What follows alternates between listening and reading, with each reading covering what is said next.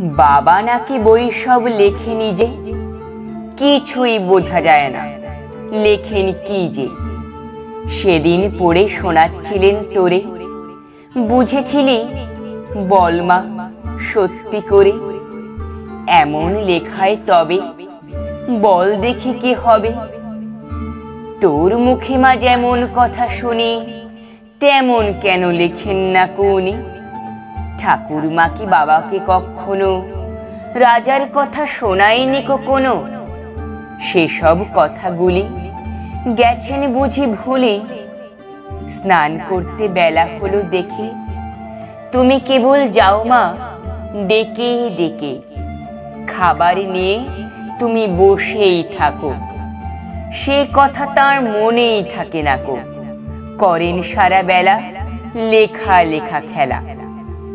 বাবার ঘরে আমি খেলতে গেলে তুমি আমায় বলো, দুষ্টু ছেলে, বকো আমায় গোল করলে পরে। দেখছিস নে, লিখছে বাবা ঘরে।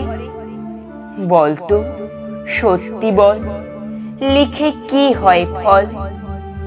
আমি যখন বাবার খাতা টেনে লিখি বসে দোয়াত কলম এনে, ক, খ, গ, ঘ, উ হ, জ, ব, র।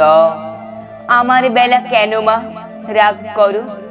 বাবা যখন লেখে, কথা কও না দেখে। বড় বড় রুল কাটা কাগজ। নষ্ট বাবা করেন নাকি রোজ? আমি যদি নৌকো করতে চাই, অমনি বলো, নষ্ট করতে নাই। সাদা কাগজ কালো, করলে বুঝি ভালো।